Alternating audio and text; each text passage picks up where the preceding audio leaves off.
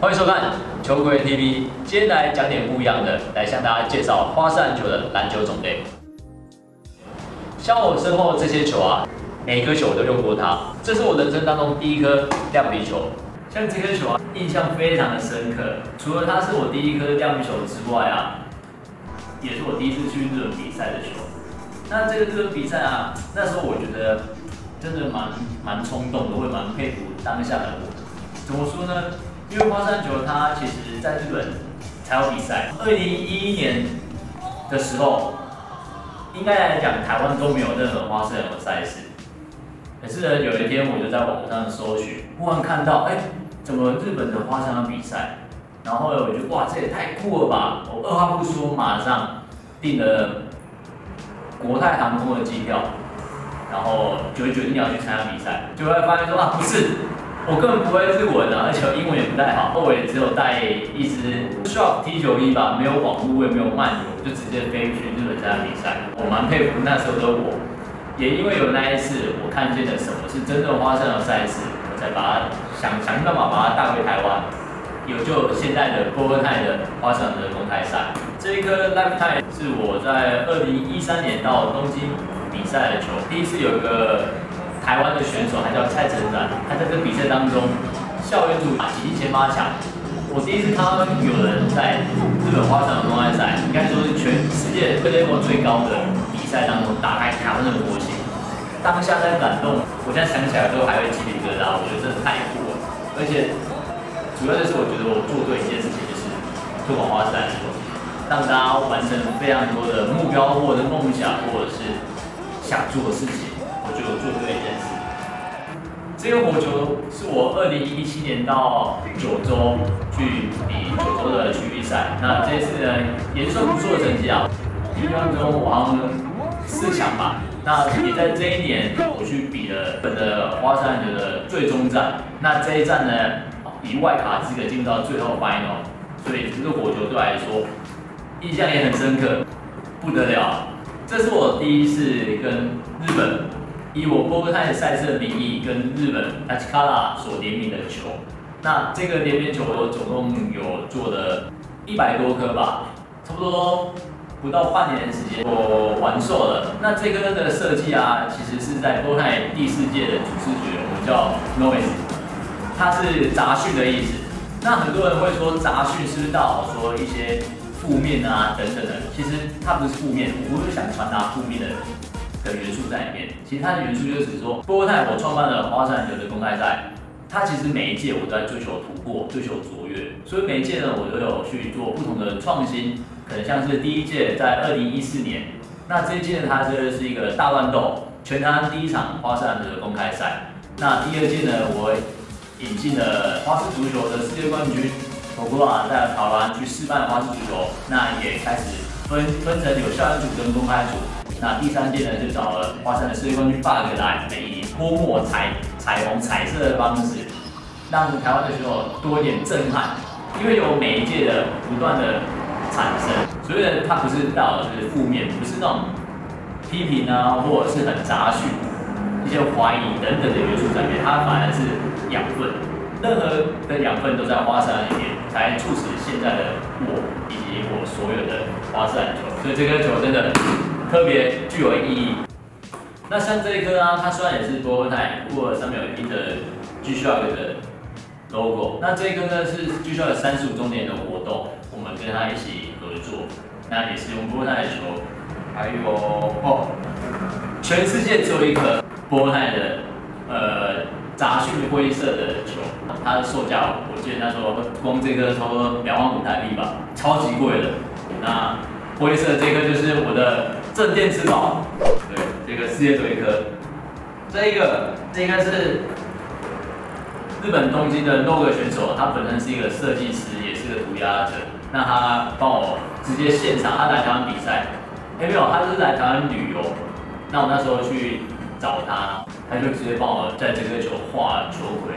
那这颗呢，是我有朋友欧阳靖，他前几年在台北有办一个摄影展，然后那一次。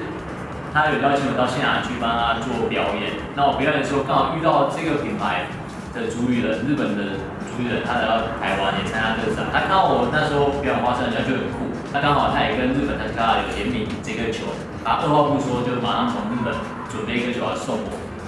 对，这个也我也平常会拿去室内场打。总之，你看到现场这些球啊，每个都是有一些很特别的回忆，我会很珍惜他们。其实每个球都用过，你看到坑坑巴巴的，因为有这些这些球，才有现在我，所以我其实蛮开心的，真的是我我的生活。来为大家介绍三种不同材质的球。那第一种呢，我当然先介绍波尔最常用的亮皮球。这种球呢，它为什么叫亮皮球呢？顾名思义，就是它的表面看起来非常的具有光泽，而且很漂亮。那它这种 TPU 的材质，它是专利的。那最重要的是，它在转球的时候啊，不会伤手。即使你挂在再薄表皮，都具有缓冲材质，它非常好用、好使用。而且呢，不要看它外表光滑样子，其实它超级好抓的。那当然了，我们波尔其实很常使用亮皮球之外呢，我们会拿来做。因为这种球它其实做也不太会变形，那它很好掌控，所以呢，在它的这个前提之下，我们大部分波尔都用亮皮球，那它的款式有非常多样的变化，这其实蛮酷的。下一个呢，我帮大家介绍的是 PU 球。那 PU 球呢，其实它就是像我们一般田径场上的跑道 PU 跑道上面的材质。那为什么有些选手用 PU 球呢？是因为他可能喜欢。打球，那刚刚介绍亮皮球，其实不建议大家拿去打篮球，因为你打了它可能很快就坏了。那像 PU 球呢，你可以拿去打球，也可以拿来做花式球的表演跟比赛。那它的选择是因为有些选手们，你的手容易流手汗，可是 PU 材质啊，它很好的去做掌控，很好做运球，你有流手汗，它也不太会滑，也很好抓。对，这是我们 PU 球。紧接着就是。我平常在室内场打球会用的超纤材质超纤球，那这种材质你拿过你就知道，它的触感啊非常的柔软，很舒服。那我们通常用的它卡这种超纤材质的球啊，其他的丝篮球我们都已经忘记它的感觉，因为真的不夸张，你摸过你用过你就知道了它的好。而且这种球它非常有质感。那讲这么多呢，其实你直接去摸实体也是最快的。种类就是。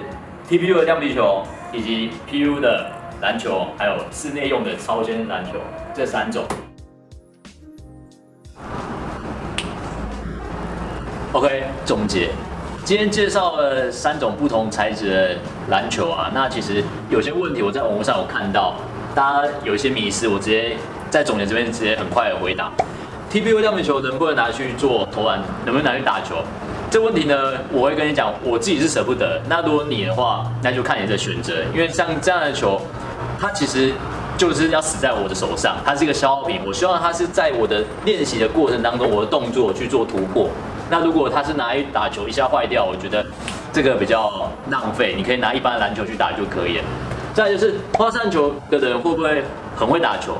这问题其实你学花扇球，它会帮助提升你的球感养成，你左手控球能力以及你的协调性，还有你的判断能力。那花扇球，我们最重要就是提升你的表现嘛。那对于你能不能打球，我觉得那是另外一回事。因为篮球场上你要打球，它可能有肢体碰撞，还有战术，还有团队合作等等的很多因素在。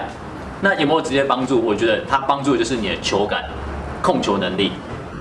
你要如何保养你的球？其实如果你一开始拿亮皮球啊，你要记得它很怕水，所以你不要浸在水里或泡在水里，以及直在太阳太久。如果你练习的时候不小心沾到水，你赶快把它擦干，有污渍拿湿纸巾擦干，再把它保持干燥就好。你如果是选手，你问我这个问题，我会跟你讲，最好保养就是练习，好好的用它，把它用到坏掉，它死在你的练习，死在你的表演，死在你比赛，我觉得都值得，因为这终究是消耗品，它是陪伴你成长的。OK，这才是最好的保养。总结，如果你要问我说，今天介绍的这三种材质，初学者要用什么样的球，我会跟你讲说，什么样的球其实不重要，最重要的是你必须要去练习。那当然，你条件好的情况下，你想要亮皮球，我会跟你讲去用亮皮球，因为它不伤手。但如果呢，你都不练习，你用什么样的球，其实它终究就是一颗球。它是没有生命的，可是，你好好练习，我赋予它生命，然后它可以做更更更多各式各样的动作，包含你可以突破你自己，以及得到好的成绩或者交朋友，得到一些快乐，我觉得这才是最重要的吧。而且像是 LeBron James，他穿蓝白拖，他一样可以灌篮啊。Jordan 不穿球鞋，一样可以轻松过我吧？虽然我不想给他过，我还是很认真的防守。OK，差不多这样哦。如果对于今天有任何问题，欢迎在下方留言，我们可以一起做讨论。总之就是练习，好好练。那如果你想要问这种球要从哪边得知，我一样把链接放在下面。OK，差不多这样。球题，我们下次见。收工。